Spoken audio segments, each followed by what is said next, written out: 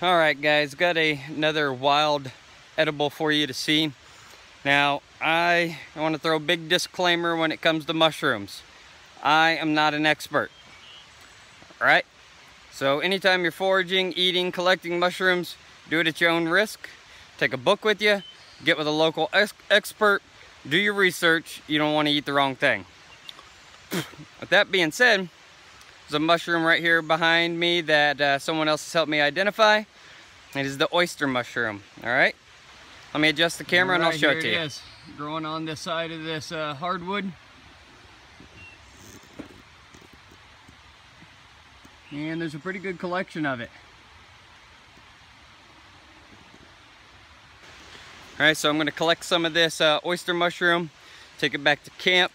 I'm gonna cook it, and then I'm gonna eat it. Never done that before, but I'll show you guys.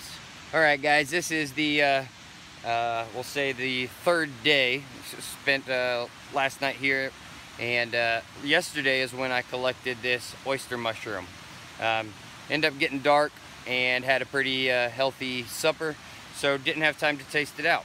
But as I promised, I'm gonna cook it up and try it. So all I did was I had to Put a little butter in the bottom of the pan. I'm gonna let that get simmering. And because I've never had this, I'm only gonna take like a quarter size piece or so just to try it out. And then I have plenty more to eat on if I like it. So let me get this uh, going and I'll be right back with you.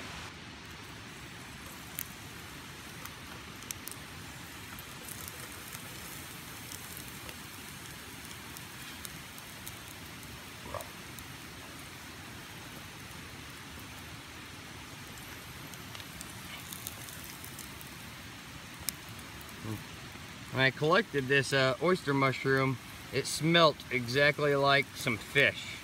So I'm sure it's gonna have a fishy taste or else it wouldn't be called an oyster mushroom.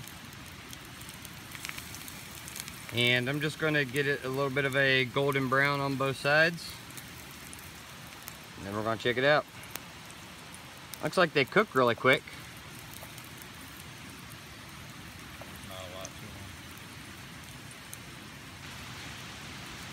All right, guys, just took these uh, oyster mushrooms off of the fire.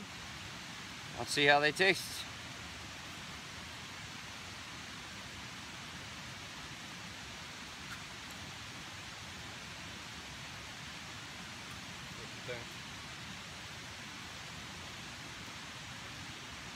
It's not a strong fish flavor.